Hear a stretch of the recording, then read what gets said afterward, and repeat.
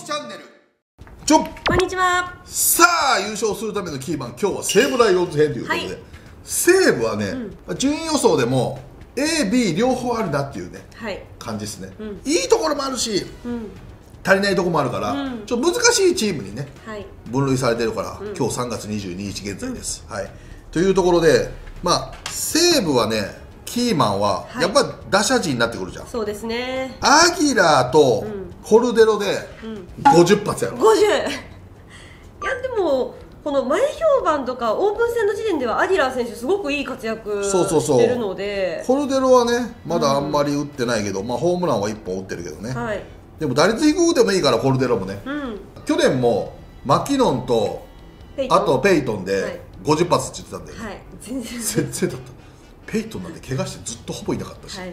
マキノンも十何本でしょ。うん。全然だったね。そうですねでもだから優勝できないわけ。よ、あそうですね。一歩間違ったら最下位もあるわけ、はい。うん。俺の言った通りしないから,、うん。キーマンなのに、キーマンの活躍しないとそうなりますよってことだ、はい。ね、でも今回はアディラーとコルデロで50発。50発打てば優勝できるよ、はいあるあるある。うん。うん。だってまああとは去年源田がね、うん。やっぱその WBC の影響で怪我して前半いなかったからね。そうでしたね。あれだったけどだから源田が、ん。源田との先、はい。え怪我なく1年安定的にいつも通り活躍してくださいと。うん。で古賀はい。が、ベストナインか、ん。ゴールデングラブ、はい。どっちか取ったらうん。優勝ワンチャンああありますね。うん。ゴールデングラブでもそこがバチッとはまれば、まあ多分スビタリのね補佐はあると思うけども、はい。ここが古賀が一本立ちして、うん。そのタイトルに絡んでくるようなことがあったら、うん。やっぱ優勝も手の届くところになるんじゃないのかなと、だって打力が強化されたら西武全然上行きますもんね。そうそうそうそう。あとおかわり君が。おまだ活躍必須ですか？いやいけるっしょ。まだいける、必要でしょ、必要ですね。うん、おかわり君がはい。ホームラン20発、うんおお40歳に。だからおかわりと、はい。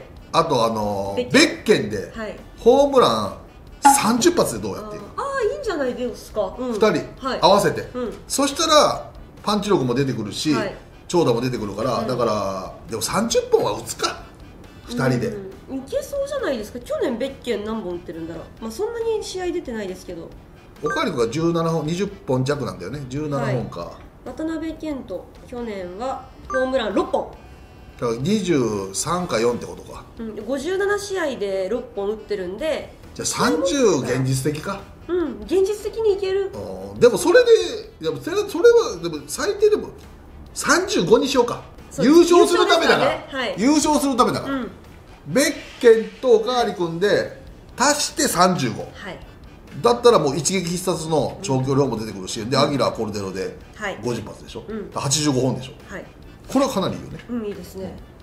これができれば、あとは打線いけるん。で源田との先が元気で回れば、うん。いけるんちゃうかっていうね。あと外野とかそんなに固まってないですよね。全然固まってない。今金子が一番結果残してるもん、はい。外野で。若林もあれだしね、うん。西川真也。ね、はい。金也じゃないよっていうね。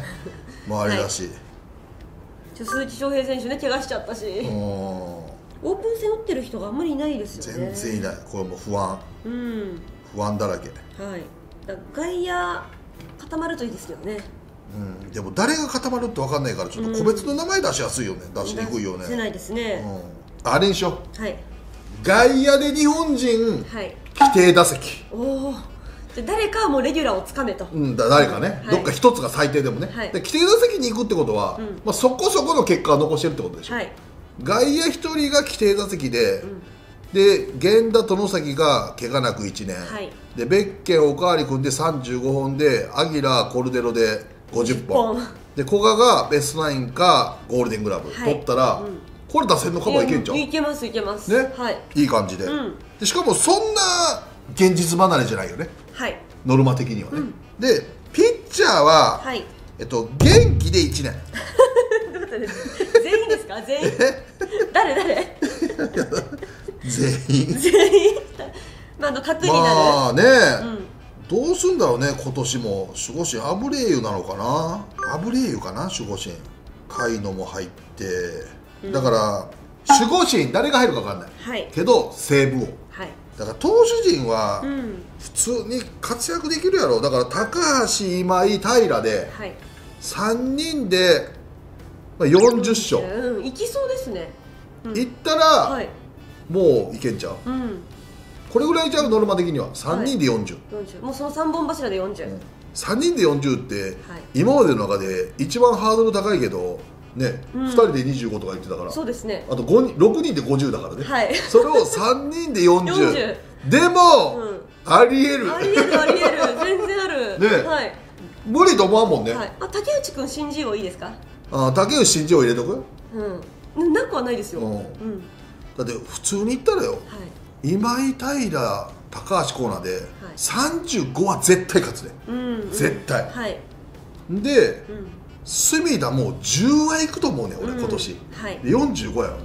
うん。で竹内が新人王で10勝勝ったらい。55やろ。はい。もう優勝やで。そうですねだからどだからもう打線の援護だけが大事だね。うん、そうですね。やっうん。ぱ打線あってこそですからね。うん。竹内はまあね未知数だからね、はいうん。まあ10勝できればいいかなっていうところもあるけども、はい。少なくても竹内松本で15は勝つと思うねはい。少なくても、うん。そしたらもう60だからね。そうですね。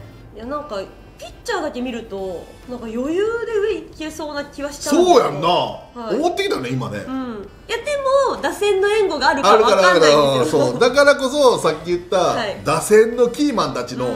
ノルマ設定超えが肝心だね、感じですね。むちゃくちゃなこと言ってないよね。うん。いや普通に打線の援護が普通にあれば、うん。普通にこれこれはもうそのぐらいが普いけそう、頑張るとかじゃない、はい。普通。うん、いけるいける、ね。はい、でここでどこまで伸びしろをうん伸びしろなくても俺それで60勝ってるからね。はい。リリーフで20勝ぐらいするからね。うん。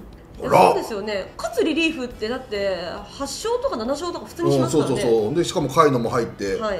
ねいけるいけんじゃん、うん。いやピッチャーだけ見るとめちゃくちゃいけそうなんですよ。うん野手やな。野手なんですよ。これが 去年みたいに牧野、はい。うん。ペイトンみたいに、はい。2人で何20発も打ってるか打ってないかですよみたいなはい。感じになるとねアギラーとコルテロが、はい。それはもう無理だな、うんでまたおかわり君頑張ってなんないといけなくなっちゃうとおかわり君と栗山頑張ろうねいつまでベテランにみたいな、もうね、40だよっていうで外野またスカスカみたいなね、はい。なるときついね。誰がもうレギュラーかもう1年決まんないみたいな。うんでも野手のキーマン通りもしくはそれに準ずる活躍できたら、はい。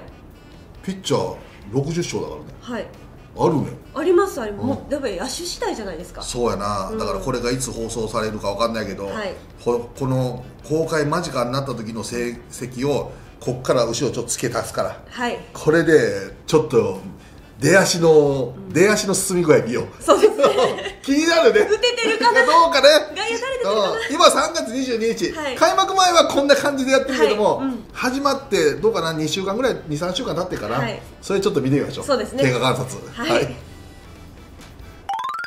さあということでキーマンをお送りしましたけど、うん。今の現状ね、はい。まああの西武ピッチャー全員元気で1年。うん。元気で1年いいのよ。うん。ピッチャーは。じゃあ本当に。今現状ね防御率2.40でセパ・リーグ3位。うんまあ、1位がロッテの2.2、あ、オリックスの2.22、で、ソフトバンクの2.26だから、まあまあ、それに準ずるね、形で来てるけども、はい。え今は、えっと、楽天と、え5位、同率5位です。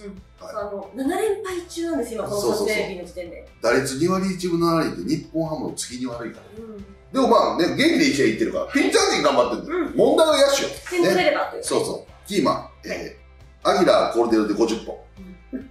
え、コルデロ最近試合出てない時あるからね。これでもう今2軍送り、守備がひどい。いや、それはもう仕方ない。んで DH に置こうよ、じゃあね。うんそうですね。かわいそうですよ。もうそうですよ。で、えっと、アキラが、えっと、ちなみに今、ホームランが、え2本。うん。まあ、多いね。うん。まだまだまあでも、優勝するためだから。はい。だからできてないから、うん。今、うん。最下位にいいんじゃないのっていう話だからそうですね。うんで、えっと、次が、えー、源田と野崎、怪我なく一連。うんここはね、殿崎いい感じで頑張ってたからね、いいちょっと落ちてきたけどね。うんで、まあ、源田もね、ちょっと守備のミスがね、ちょっと目立つなっていうところがうんあるけども、まあまあ、ここは元気に一年いけてるでしょ。はいで、えー古賀がベストナインはゴールデングラブっていうね。うんまあ、ここはでも打ってるしね。うん2割6分3厘。だからいい感じだから、うまくいけばチャンスあるね。はいで、次が、と、中村、おかわり君と渡辺二人で35発。えー、まあ、渡辺君って一軍いないからね。ちょっと、あの、里達頑張ってるから、はい。うん、思ったより渡辺君来なかったね。はい。開幕前に。で、おかわり君この前ホームラン、えー、打って、ね。1本。一本。あと、だからに、あと34本。はい。優勝するためだから。そうそうそうそう そう。うん。これ優勝するためのこと言ってる今から。5位ですから。あ今5位。うんだから5位なんだからね。うん。で、えっと、続いて、外野1人でも規定打席。うん。え、チャンスあるんじゃん、外うん、で野。も誰か離れ誰かな？ぜ離れるじゃないですか。金子も、スタートよかったけどな。うん結局またね、うん今1割5分クリ岸、長谷川、西川もね、もうな、行くかな、外野。誰かこう、なんか、続かへんねん。続かないです長ね。続きせんねん。でもこれ毎年そうじゃないですか。そうそうそう、んなんかもう、スポット参戦みたいな。うん。今で言うと山村くんとかね、ああ、そうそうそう。来てますけうんど、これがどうなるかっていうことです続ね。けてほしいですけど続けてね。ほしいです。ちょっとあのー、ピッチャー以外、ノルマ苦しいね。うんでもまあね、だから5位なんやっていうね。でもこっからこのノルマ達成できるぐらい上がっていけば、ガーって。だって最初西武調子良かった時、はいアギラーコルデル打ってたもん打ってましたようんだから言ってること間違いないね。うだからできなきゃ無理ですよっていう。ん。はい。まあだからここからどう挽回できるかね。まだパリーグ離れてないですからね。あそうそうそうそうまだまだいけます。うんはい。